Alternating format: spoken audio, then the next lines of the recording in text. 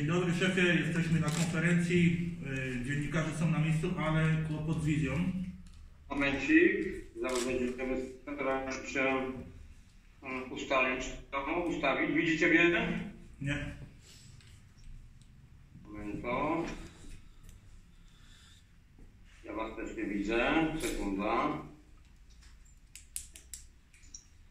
Sekunda. Połączmy się jeszcze raz, dobrze? Dobra. Jest, już jest. Jestem, już, nas, nas już widać. Po- Połączmy się, połączmy się jeszcze raz ze mną. Dobra. Połączmy się.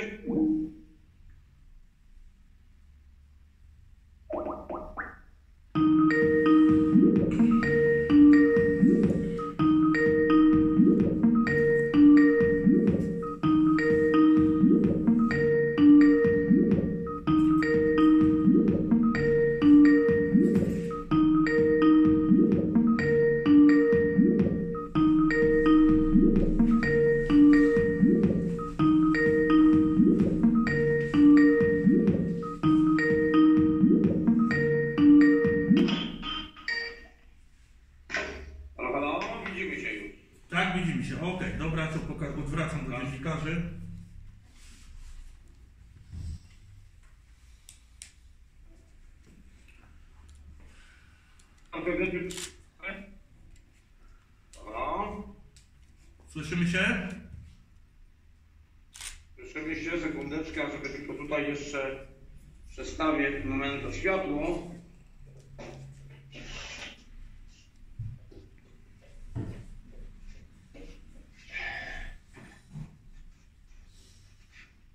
Okej. Widzimy się, tak? Tak. Okej. Jesteśmy.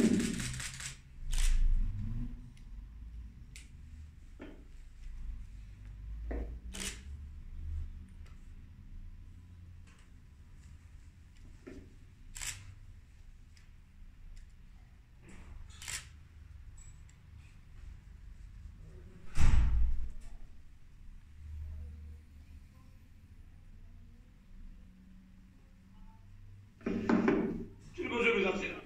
Tak, możemy. Witamy Państwa serdecznie kolejny raz w Miastku. E, oczywiście o szczegółach całego zdarzenia, które dotyczyło ostatniego podpalenia mleczarni. E, będzie tutaj przekazywał Państwu e, Zbigniew Was, który e, wystąpi przed Państwem w dniu dzisiejszym, zresztą o godzinie 12.30 w so- przed Sądem Rejonowym w Miastku e, będzie się również e, mm, e, toczyła kolejna sprawa sądowa, która dotyczy może zakresu tak zwanych zaliczek, które miały być wypłacone mm, pracownikom. Niemniej jednak sąd rozstrzygnie ten spór. Przypadek oczywiście bardzo mm, interesujący sądem dla Państwa, jak również dla śledczych, ponieważ są prowadzone różnego rodzaju spekulacje w tej sprawie, e, czy ta mleczarka nie została podpalona przez właściciela. Oczywiście ja muszę Państwu powiedzieć, ja jestem byłym biegłym sądowym, jeżeli chodzi o oszustwo ubezpieczeniowe, czyli o, o wyłudzenia pieniędzy za utracone mienie, czy to samochody, e, czy inne powiedzmy przedmioty, które zostały skradzione e, osobom, które mają ubezpieczenie m, powiedzmy swojego mienia.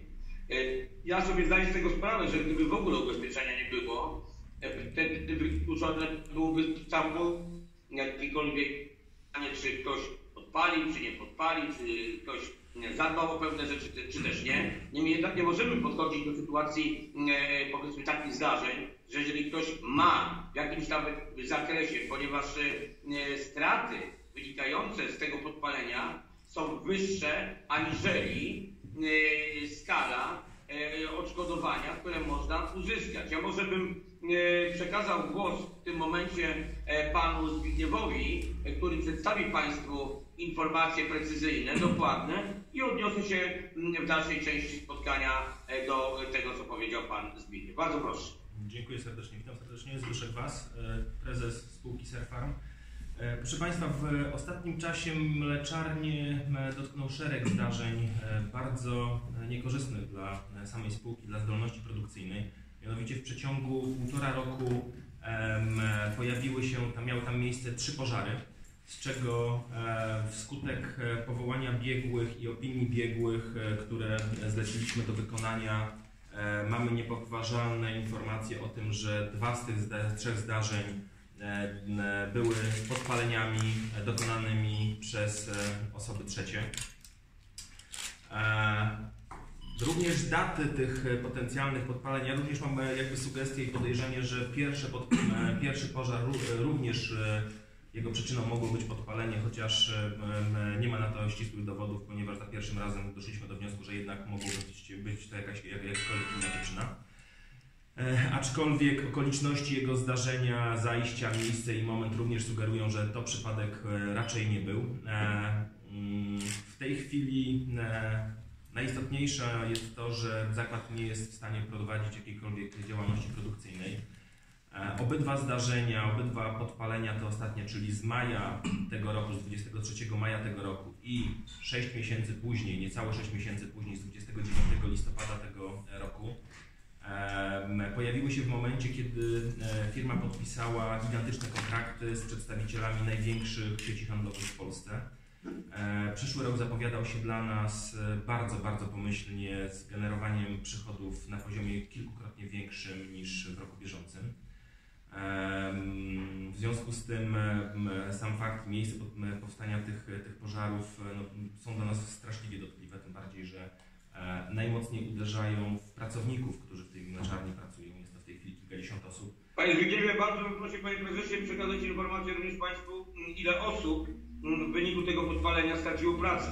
No w tej chwili e, kilkadziesiąt osób e, e, walczymy o to, żeby ponad e, te, kilkadziesiąt osób e, m, tej pracy nie, starczy, nie straciło. My tutaj m, bardzo mocno współpracujemy e, z lokalnymi urzędami, z bankiem, który finansuje w pewien sposób e, funkcjonowanie zakładu. Tej chwili podejmujemy również działania m, zmierzające do tego, żeby mimo wszystko ten zakład ratować. Nie dlatego, że musimy to wyprodukować gdzieś w jakiejś mleczarni, bo możemy to zrobić gdziekolwiek indziej, ale dlatego, że chcemy wspierać lokalną i wspieramy od samego początku m, naszej, naszej bytności tutaj e, e, lokalną społeczność. E, Chcemy tworzyć jak najlepsze relacje z tymi ludźmi i to się udaje. Mamy bardzo zmotywowany zespół osób. Udało się wypracować doskonałej jakości produkty, e, które m, są doceniane e, nie tylko w Polsce, ale i za granicą i po które w tej chwili mogę powiedzieć szczerze, z ręką na sercu, ustawiają się kolejki e, klientów, żeby po prostu to kupować. Tak? I e, z tego powodu e, cierpimy przeokrutnie.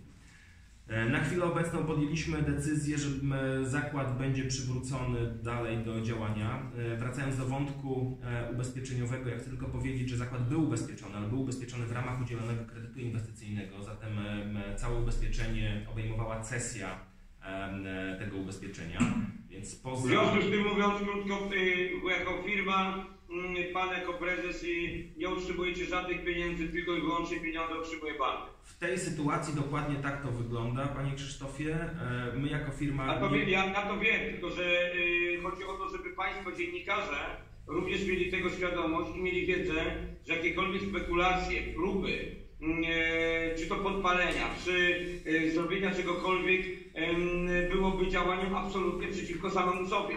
Ja powiem Państwu więcej. E, W wyniku tych podpaleń i utraty zdolności produkcyjnych, e, ja w tej chwili borykam się z potężnymi problemami związanymi z odpowiedzialnością kontraktową za realizację dostaw, na które umówiliśmy się w najbliższych miesiącach. E, Liczę na to, że na, na jakąś przychylność kooperantów, partnerów w- tej sytuacji, w której zakład się znalazł, czyli w, w, w, w obliczu podpalenia. E, Mam nadzieję, że uda się e, to jakoś e, wspólnymi siłami przezwyciężyć.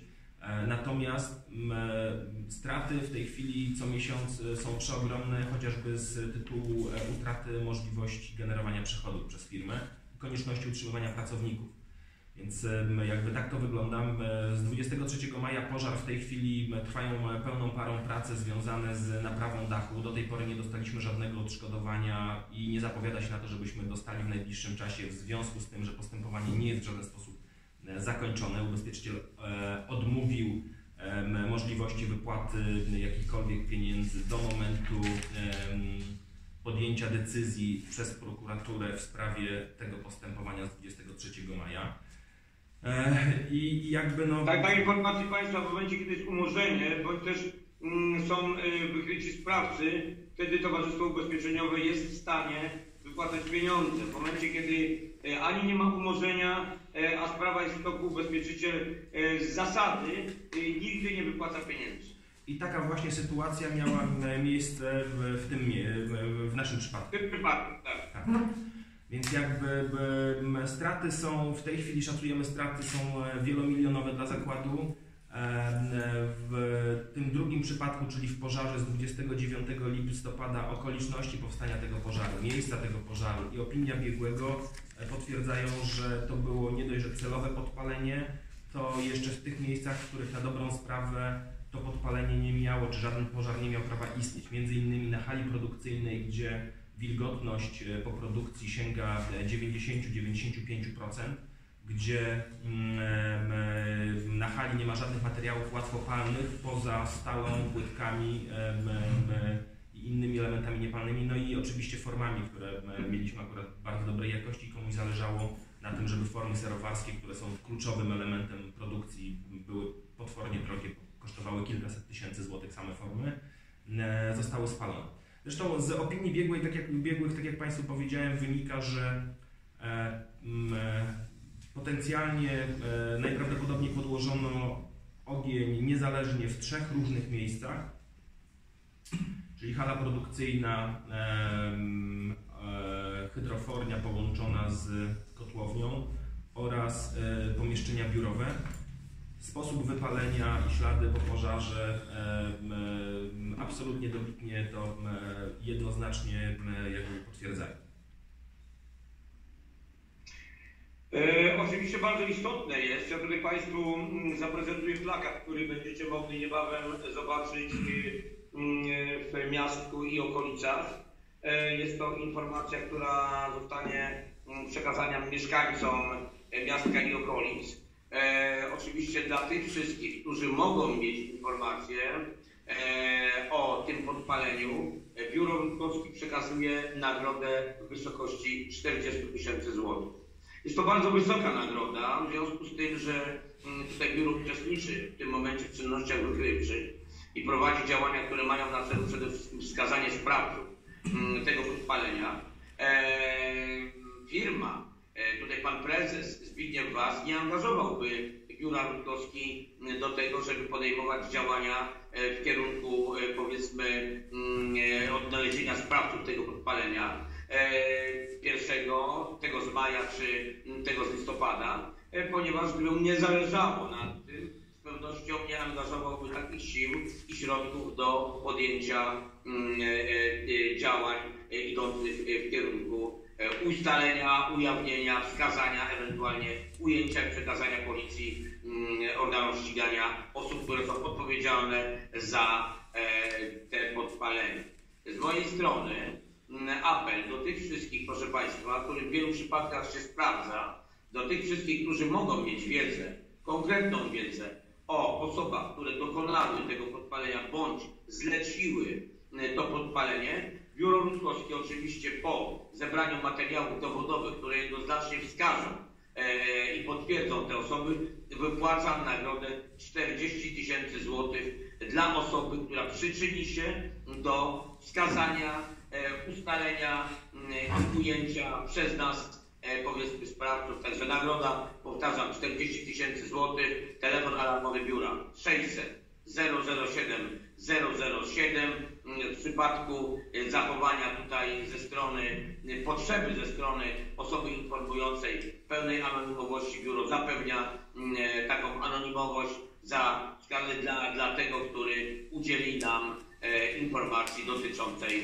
mm, tych podpaleń. Y, To się potwierdziło niejednokrotnie, sprawdziło się niejednokrotnie y, działania, które były prowadzone przez biuro w różnych punktach Polski y, zaprocentowały y, powiedzmy deklaracją z naszej strony przekazania nagrody osoby bardzo często, które nawet mm, uczestniczą w takiej grupie przestępczej, e, które mają wiedzę, po prostu przekazują nam informację, kto był zleceniodawcą i kto dokonał takiego podpalenia. W związku z tym e, z naszej strony, tak jak powiedziałem, jest tutaj pełna otwartość na współpracę z osobami tymi, które w jakikolwiek sposób mogą e, udzielić nam, nam informacji i, i tak jak powiedziałem, e, nagroda czeka na osobę, która przyczyni się do skazania e, tych, którzy są odpowiedzialni za podpalenie mleczarni.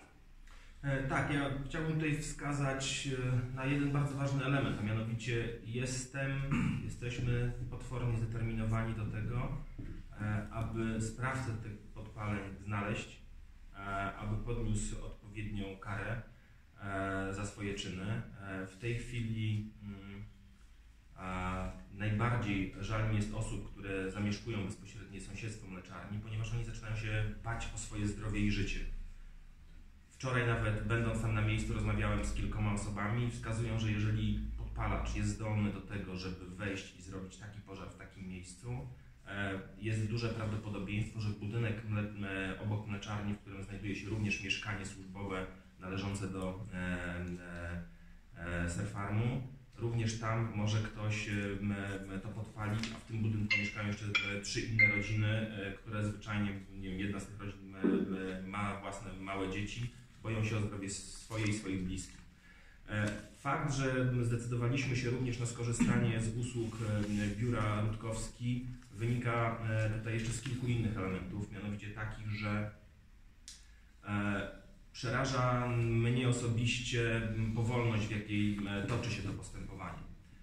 W szczególności jeżeli chodzi o postępowanie z 23 maja.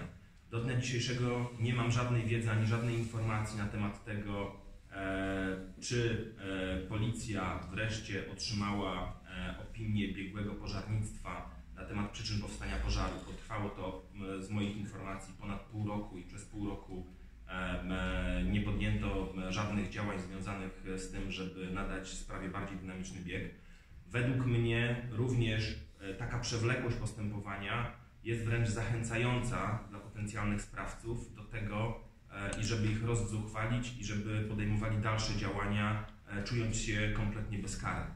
Więc e, Tak, oczywiście brak dynamiki, tutaj przepraszam panie prezesie, mm, że wchodzę w zdanie. Niemniej jednak brak jakiejkolwiek dynamiki w działaniu e, i determinacji ze strony organów ścigania, no niestety, ale jest pewnego rodzaju mm, zachętą, tak jak pan to powiedział, do popełnienia dalszych ewentualnie podpaleń czy dalszych działań, które e, pozostawiają sprawców mm, w, ich świadomości, w absolutnej bezkarności, jeżeli chodzi o e, tego rodzaju incydenty. Bardzo proszę panie. Ja tylko chciałbym Państwu wskazać, w tle tych wszystkich pożarów od, e, 2000, od końca 2014 roku e, pojawia się głęboki konflikt e, byłych e, wspólników spółki, e, byłych właścicieli e, samego zakładu mleczarskiego. E, w wyniku tych, e, tego całego konfliktu e, toczył się szereg e, postępowań. E, W ostatnich miesiącach, a w zasadzie w miesiącach tuż przed drugim, e, przed trzecim podpaleniem zapadły co najmniej dwie e, wiążące już, dwa już wiążące wyroki bez możliwości ich zaskarżania, prawomocne, e, prawomocne i prawdziwe z punktu widzenia spółki, jedyne słuszne z punktu widzenia spółki, które były w ten konflikt e, w jakiś sposób e, wplecione. E, W trakcie e, tego czasu dostałem osobiście e, szereg pogróżek różnego typu. Chciałem Państwu pokazać tylko e, dwa z nich. W ich posiadaniu jest również policja, natomiast jak do tej pory żadna, żadne stanowcze działanie związane z tymi pogróż- pogróżkami się nie odbyło. Jeden z nich to jest cytat Ja- Jarosława, Sokoł, Jarosława Sokołowskiego, Masy, e, który został przesłany nie bezpośrednio do, nie do mnie, ale do wspólnika pod moim adresem e, i, e, i, i dotyczący poniesienia kary za nielojalne zachowanie w stosunku do kompanów. I to jest jeden z tych cytatów. Drugi z tych cytatów e, jest jeszcze bardziej wymowny, a mianowicie zostawiono mi przekaz w zakładzie mleczarskim w pomieszczeniu, w sypialni, w której, wybuch, której biegły wskazał jako miejsce powstania pożaru. E, to nie jest przypadek. E, w tym pomieszczeniu na szafie został umieszczony napis konkretnie adresowany do mnie i podpisany pseudonimem osoby, która to napisała.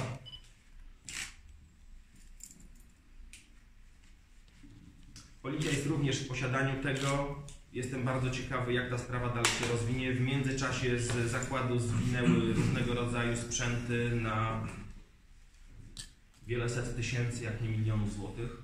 E, Wierzę, że wreszcie policja i prokuratura dojdzie do wniosku, że te sprawy wszystkie warto ze sobą połączyć, ponieważ em, em, jest to bardzo głęboki wątek kryminalny kilku osób, które w moim przekonaniu mogą działać e, celowo e, w kierunku wyeliminowania spółki z rynku.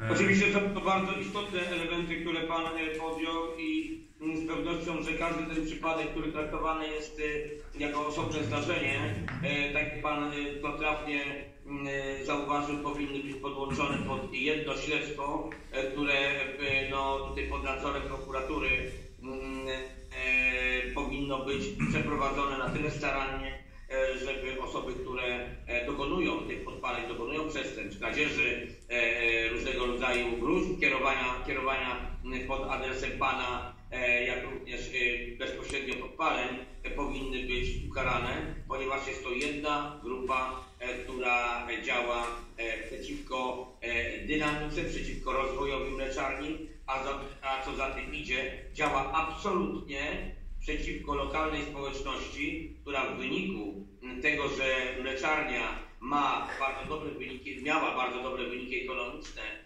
podpisała kolejne kontrakty, których nie jest w stanie w tym momencie zrealizować ze względu na brak możliwości technicznych, e, oczywiście e, powinny organy ścigania na to zwrócić szczególną uwagę, że jest to nie tylko aspekt podpalenia i straty dla jednego biznesmena, e, który mm, zarabia e, walizki pieniędzy, tylko przede wszystkim jest to uderzenie w lokalną społeczność i problem e, tego, tych zdarzeń. Przede wszystkim jest to problem społeczny, e, proszę Państwa, z tego na tym terenie. I na to powinna zwrócić e, uwagę szczególnie policja, jak również prokuratura, m, która e, w należyty sposób powinna wykonywać e, swoje działania. Ja wierzę to, ponieważ działałem niejednokrotnie na terenie m, e, powiedzmy tutaj tej części kraju.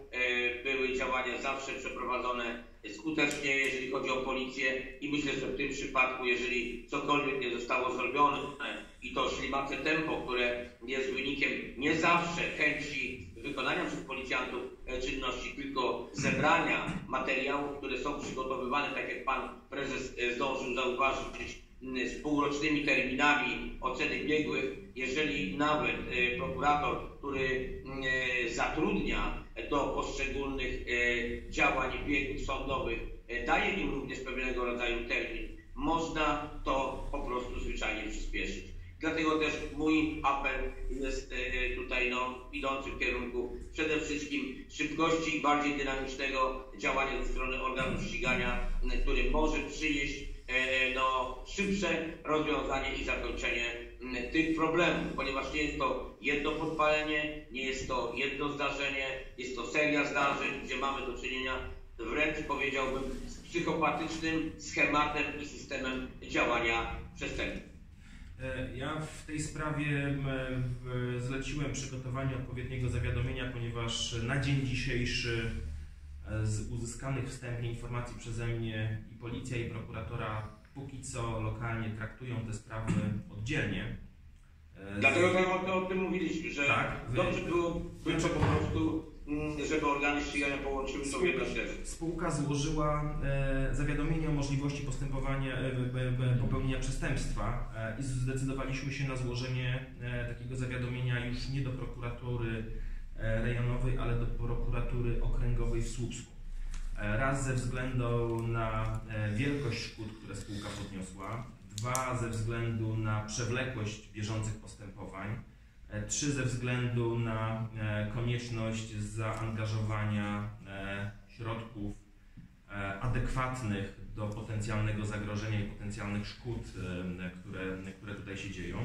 Ale pojawia się tutaj jeszcze jeden, myślę, dosyć istotny wątek, a mianowicie spółka weszła, ja wszedłem osobiście w posiadanie informacji na temat tego, że potencjalne osoby, które mogłyby mieć motyw e, związany z uszczupleniem czy wyeliminowaniem spółki e, z funkcjonowania na rynku, e, lub osiągnąć też korzyści poprzez to, że spółka by upadła, mogą mieć powiązania rodzinne i powiązania, mm, że tak powiem, e, towarzyskie e, w, z policją, w tym e, z Ja, policją. tak, panie, panie prezesie, ja bym aż tak bardzo daleko Dobrze, się nie posuwał, Oczywiście.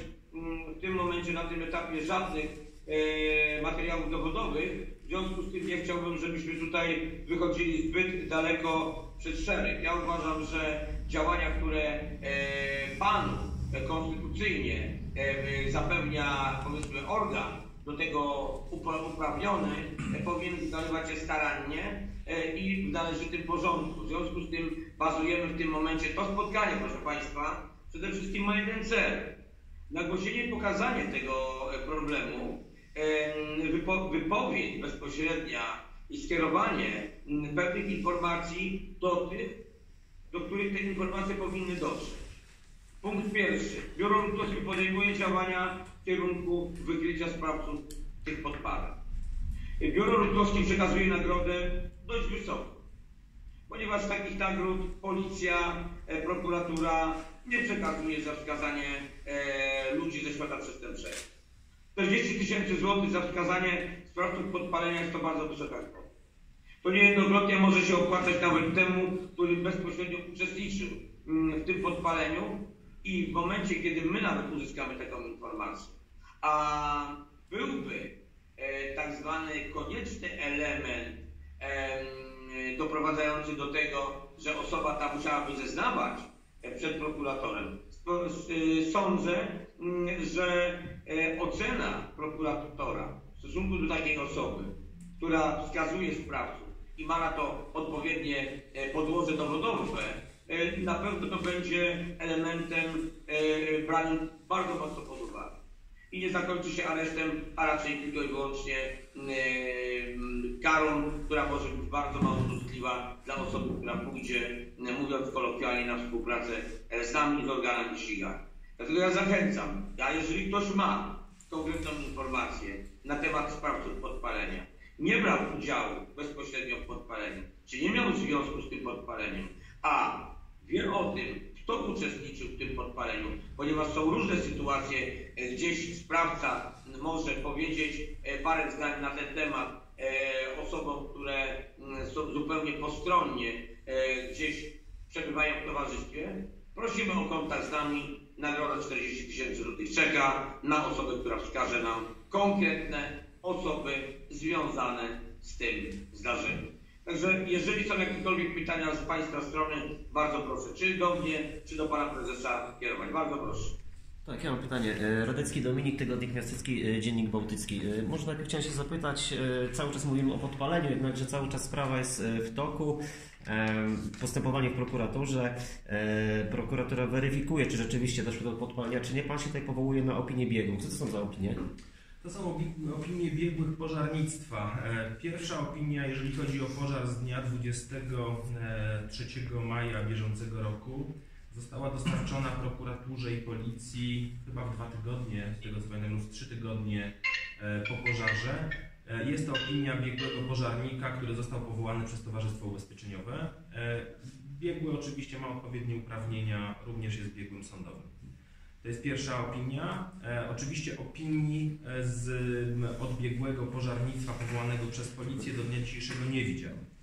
Druga opinia to jest opinia dotycząca pożaru e, w dniu 29 listopada.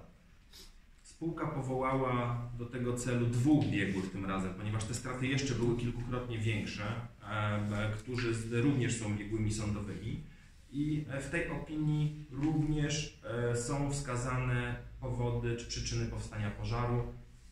Opinia brzmi jednoznacznie, jest to podpalenie. Mówimy o jednym i drugim pożarze. Mówimy o dwóch ostatnich pożarach, które miały miejsce w. E, Tak, jeszcze chciałem się dopytać, zanim odniosę się jeszcze do tego, co, Państwo mówili, do tego pożaru z 23 maja.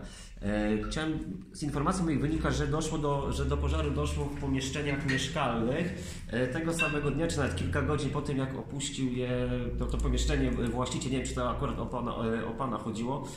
I coś więcej szczegółów właśnie o tym, o tym samym pożarze, jak doszło w tym pomieszczeniu, w którym rzekomo pan przebywał. Proszę Państwa, w dniu 23 maja mieliśmy wizytację mm, bardzo wysokich rangą przedstawicieli jednej z największych sieci, nie chciałbym wskazywać ich nazwy.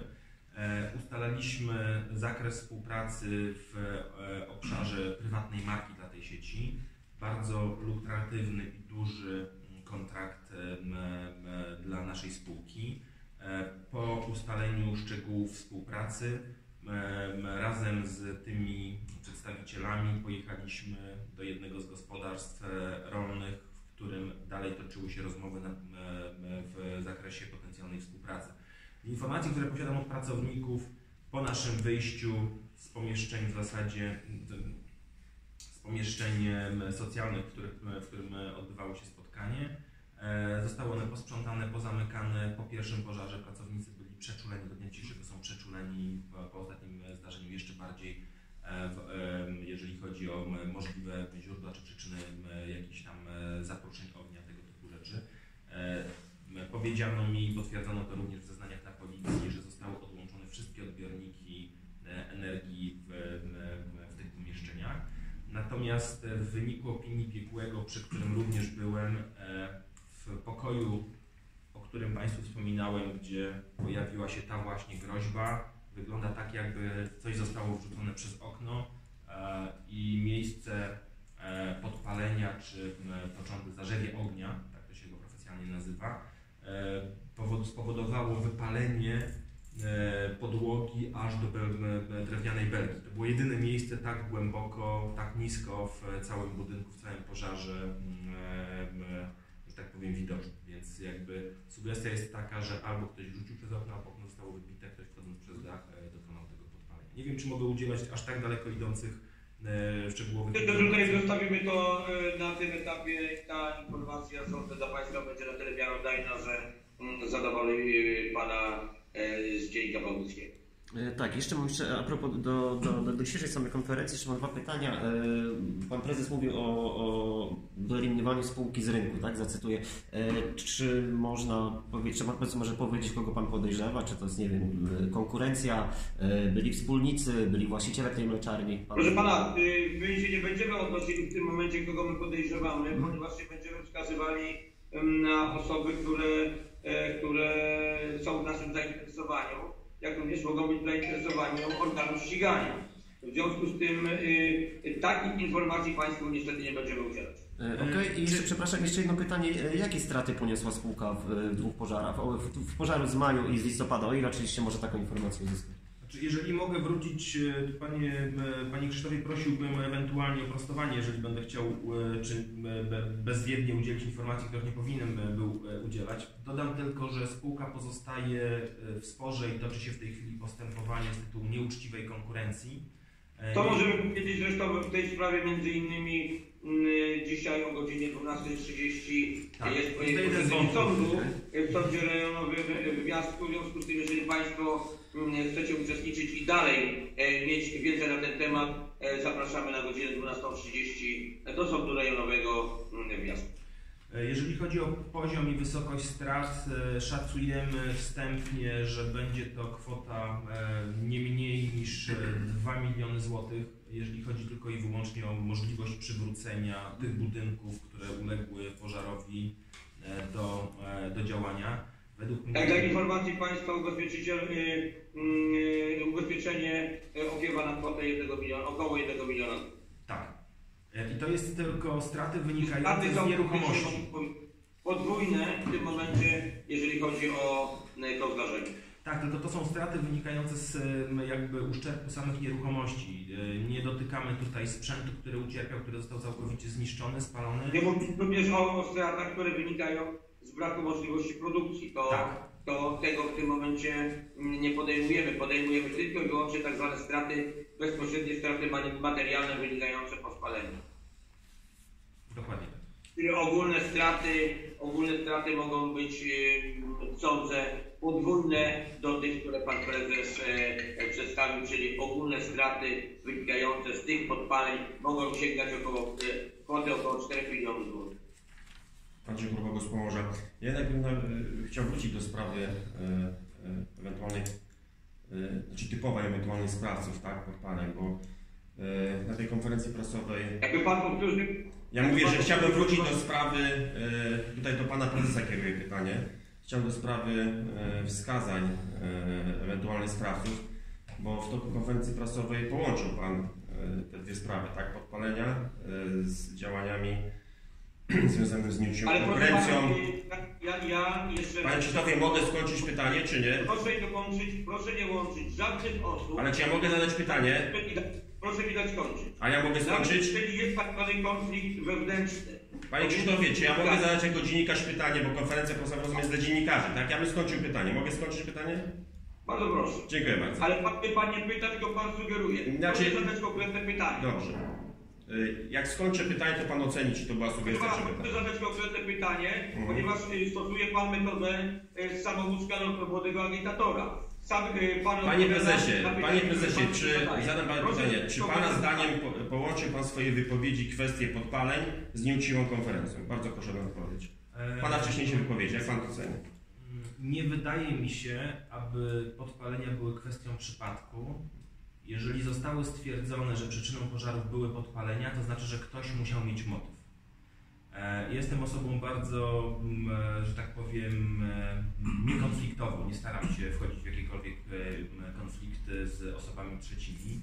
E, Natomiast no, nie wydaje mi się, aby te podpa- podpalenia były spowodowane przez osobę, której zupełnie na niczym nie zależy, nie wiem, byłaby upośledzona psychicznie i podpaliła sobie akurat tu i akurat to w taki, a nie inny sposób. Rozumiem. Mówiąc krótko, podpalenia z tej oceny, którą my również mamy, podpalenia są podpaleniami, podpaleniami celowymi, y, które są wykonywane bądź też na zlecenie, bądź też przez osobę, która mm, z, za, z założenia i z przygotowania e, stara się doprowadzić do strat mm, e, ekonomicznych e, spółki. Rozumiem. Czy Pan jako prezes podzielił się wiedzą z policją, z prokuraturą co do konkretnych wskazań? Bo rozumiem, że z, pan, z, toku Pana wypowiedzi wynikało, że ma Pan na myśli konkretne osoby, konkretne nazwiska, przynajmniej jeżeli chodzi no, o zleceniodawców, tak? bo nie bezpośrednich pewnie sprawców. To czy Pan podzielił się wiedzą na ten temat z prokuratora albo z policją?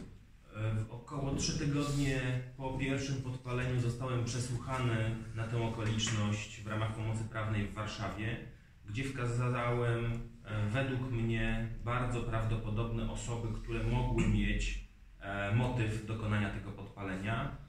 E, Według mnie po tym przesłuchaniu żadna z tych osób nie została na ten Ale to już panie prezesie, te, jeżeli chodzi o czynności policyjne, zostawiamy na bok. Okej, Dlatego to też- przepraszam, jeżeli możemy to cofnąć. To znaczy, Po prostu no, ta zostały, mówiąc krótko, odpowiedź na Pana pytanie. wypowiedź jest satysfakcjonująca. Zostały wskazane osoby, które mogą być Rozumiem. podejrzane. Konkretne osoby, tak. które mogłyby mieć motyw.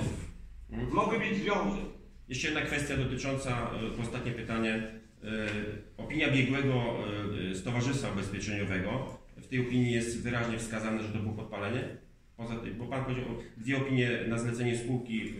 y, Zrozumiałem, że mówią upraszczając, że to podpalenie, czy z opinii y, biegłego y, na zlecenie Towarzystwa Ubezpieczeniowego wynika, jest tam stwierdzenie mówiące o tym, że to było podpalenie. Jeżeli da mi Pan e, 30 sekund, to Oczywiście. dotrę do dokumentów, w których ta informacja jest. E, Według mnie jest tak, że mm, wszystkie inne przyczyny pożaru zostały przez biegłego z Towarzystwa Ubezpieczeniowego wyelim- wyeliminowane. E, Poproszę. No, o- tam jest stwierdzenie mówiące o tym, że, że, że zdanie biegłego to wskazuje coś na podpalenie, czy wszystko wskazuje na podpalenie, czy, czy to było podpalenie, tak.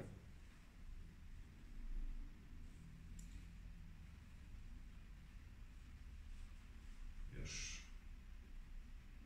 Mam te dokumenty. To we wnioskach zapewne.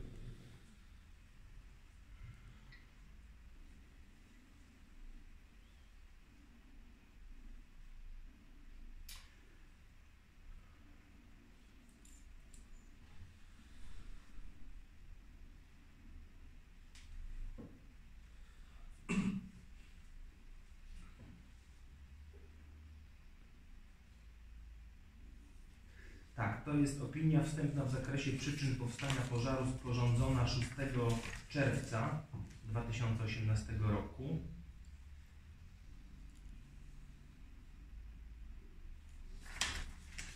W wyniku tej opinii wnioski.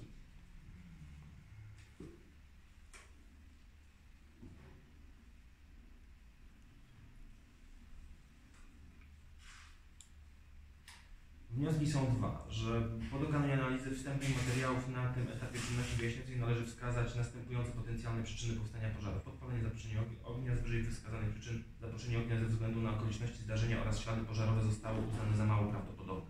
Zostaje jedna przyczyna, czyli podpalenie. Jako Dwie zalec- i jedna mało prawdopodobna. jako zalecenie należy wskazać kontakt z komisariatem policji w celu uzyskania informacji o ewentualnym udziale biegłego z zakresu pożarnictwa w wyjaśnieniu przyczyny powstania szkody. Poszkodowany winien zaznaczyć, iż podejrzewa podpalenie jako przyczynę powstania szkody. Te informacje trafiły do e, komisariatu policji, do... E, Nie, to wystarczy. No, czy to, no, no, dziękuję bardzo. czyli wynika z tego jedna praktycznie możliwość przyczyna e, powstania pożaru. Ja dziękuję. Y, Zbigniew Derawa z Gazety Miasteckiej. No, ciągle mówimy o drugim i trzecim y, pożarze jako podpaleniu, ale czy ten pierwszy pożar tutaj nie ma żadnych wątpliwości i też myślicie, że to było podpalenie, czy Przy pierwszym pożarze jest najwięcej wątpliwości, ponieważ było to pierwsze zdarzenie. E, Z, pożar pojawił się również w pomieszczeniu, w którym nie było praktycznie nic, co umożliwiałoby powstanie tego pożaru. E, jakie Nie to było pomieszczenie? To było pomieszczenie e, w okolicach hali produkcyjnych. To było odnowione pomieszczenie. Tak, tylko że jeżeli pan pozwoli, panie prezesie, y, ja skomentuję tutaj dla pana mm, tę, to pytanie. E, Oczywiście pierwszy ten pożar w miejscu, gdzie e, było bardzo mało prawdopodobne, e, że ogień będzie mógł zająć pozostałe części mleczarni, mógł być tak zwanym ostrzeżeniem e, dla spółki, ostrzeżeniem dla prezesa. E, Jeżeli będzie em, coś niezgodne z pewnymi żądaniami, czy też pe- pewnymi e, kwestiami, które e, powiedzmy sprawcy działający e, mają na swojej myśli, kolejne pożary mogą spowodować bardzo duże straty. W związku z tym miejsce, gdzie e, było bardzo mało prawdopodobnym miejscem do tak zwanego mm, pożaru przyczyniającego się do dużych strat ekonomicznych, tak jak powiedziałem, ten pierwszy pożar mógł być pewnego rodzaju sygnałem i ostrzeżeniem co do dalszych wydarzeń, które miały miejsce. E, Jeżeli mogę dodać, e, w tym pożarze mieliśmy dużo, dużo szczęścia, dlatego że uległo zniszczeniu tylko jedno małe pomieszczenie, e, właśnie wyremontowane. Najprawdopodobniej z, jednego, z jednej prostej przyczyny. Znajdowały się tam środki e, chemiczne niepalne, ale które po podgrzaniu najprawdopodobniej spowodowały, opary spowodowały rozszczelnienie i większy wybuch, który spowodował zmknięcie tego pożaru. W wyniku tego wybuchu e, część m, różnego rodzaju stolarki okiennej w tym uległa zniszczeniu, ale to też najprawdopodobniej e, uratowało zakład przed e, dalszym pożarem. No, wracając do tego trzeciego, w sumie najbardziej opowiadającego w straty y, y, pożaru, no to pan prezes też mówił, że w dniu właśnie y, tego pożaru no, było podpisanie lukratywnego kontraktu, który no, przewyższał obroty spółki no, stuprocentowo, tak? Czy to też jest badane przez śledczych, czy te wątki tutaj y, przekazał? Ja Państwu tylko powiem, że jeżeli chodzi o mm, e, to drugie postępowanie, druga sprawa, z nieznanych mi przyczyn nie zostałem jeszcze przez policję przesłuchany e, w tej sprawie. E, Dlatego też spółka zdecydowała się na em, zawiadomienie o tej możliwości popełnienia przestępstwa i przekazaniu wszystkich możliwych informacji, w jakich posiadaniu jesteśmy w celu sprawnego poprowadzenia tej sprawy przez prokuraturę. E, Panie prezesie, jeszcze mam takie pytanie. E, Czy właścicielem e, zakładu produkcyjnego w, w Zielinie jest spółka Serfarm czy spółka Stara Mleczarnia? Spółka Serfam jest właścicielem. nieruchomości całego zakładu, który znajduje się w sieci. A Stara Mleczarnia, który też Pan jest prezesem? Stara mleczarnia jest brandem i również jest spółką, która dostarcza produkty wy, wyprodukowane w tym E, do- rozumiem. I ja rozumiem, że Pan jest właścicielem też e, S- Serfarmu. Jako, E, jako tak? Jestem właścicielem udziałów w firmie Serfarm, jestem również właścicielem akcji w spółce Stara Mleczarnia, która jak gdyby tutaj dostarcza Mhm. już bezpośrednio tych klientów. Okej, nie wiem, czy się uda, czy Nie wiem, czy się uda, czy może Pan coś powiedzieć o konflikcie z Panem Jackiem Kor- Korgwodem, przepraszam, trudne nazwisko, z byłym prezesem Serfarmu. E, Proszę mi powiedzieć, ja, ja nie wiem, czy ja powinienem odnosić się do tego już e, imiennie. Wydaje mi się, że nie. Natomiast mogę tylko powiedzieć, że Próbowałem. toczy się szereg e, postępowań, w których w ostatnim czasie, właśnie przed tymi pożarami, zapadło co najmniej dwa bardzo korzystne i definitywnie rozwiązujące problemy spółki wyroki. A jakie to były wyroki? E, To były wyroki konstytuujące sytuację spółki, kwestie mm, e, zarządu, e, kwestie związane z udziałami w tej spółce. Dodam tylko, że w tak zwanym międzyczasie, w czasie tego całego konfliktu zostałem przez sąd powołany również jako zarządca przymusowy, spółki Serfarm ze względu na podejrzenie w zasadzie pewność, jeżeli chodzi o działania związane z e, działalnością konkurencyjną. I jeszcze mam ostatnie pytanie, czy no może warto było to wyartykułować, y, bo rzeczywiście tutaj Państwo mówili o, o, o lokalnej społeczności, o kilkudziesięciu no, prac- pracownikach, tak? Podejrzewam, że, że, że część z okolic. Y, Czy y, jest jakaś deklaracja, czy, czy te osoby, no nie wiem, nie, nie zostaną zwolnione, czy ruszy produkcja, nie wiem, czy w zakładzie, czy go budujecie, czy w jakimś innym zakładzie z tymi Proszę osobami? Państwa, zapraszam do zakładu dzisiaj, zobaczycie co się dzieje w zakładzie. Te osoby są, większość z tych osób jest. Jest e, bardzo dynamicznie trwają prace związane z naprawami, z, ze sprzątaniem tego wszystkiego, co się działo, co się stało w zakładzie. E, Decyzja jest taka, że przywracamy, e, przywracamy funkcjonowanie. Nie chcemy się poddać. Nie? To jest tak, że e, tak jak wspomniałem, możemy produkować to gdzie indziej, ale czujemy, ja czuję osobiście więź z bardzo wieloma tymi osobami. To jest już e, nie relacja nadrzędny czy tam przełożony pracownik, ale to jest relacja bardzo osobista z tymi. E, Proszę mi wierzyć, ale po pożarze pierwszym i drugim te osoby płakały. I e, nie tylko kobiety, tak? Zdarzało się to również mężczyznom. Oni są bardzo mocno związani z tym, wkładają w to całe serce. Droga, jaką przeszedł ten zakład w ciągu ostatnich pięciu lat, e, nie chcę mówić, że to jest droga przez piekło, ale przez